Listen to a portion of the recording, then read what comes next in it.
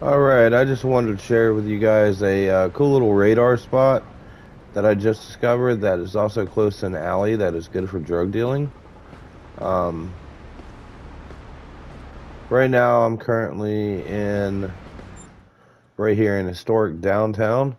I'm right here at this bend, um, and I think there's actually a uh, call out that happens right up in here. Um, but yeah, I just want to show you this cool little radar spot that I found that getting a, quite a bit of speeders. So what you want to do is just aim down here. And the speed limit is 25.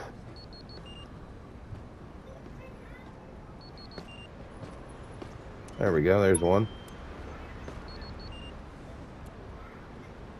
So, and you can get them kind of both ways. But I find it best this way. And what's really nice, there's another one. Right here is at this bend, so it makes it really, really easy to keep focus on these uh, speeders.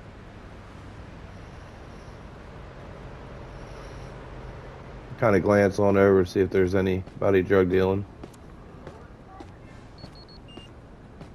But yeah, just a pretty cool uh, radar spot. Let's see if we get a couple more. See, there's a traffic light down there, and they just turn right off, and they got a long straight right here. Just enough to speed.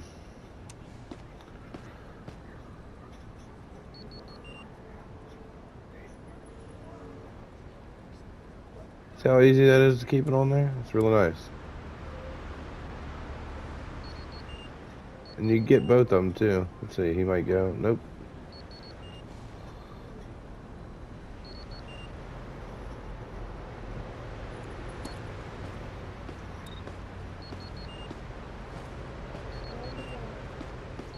Oh, there's one.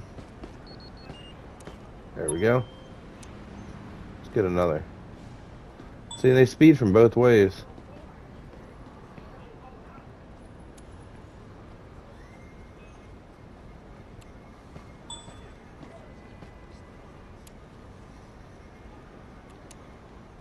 See if we can't get this guy speeding.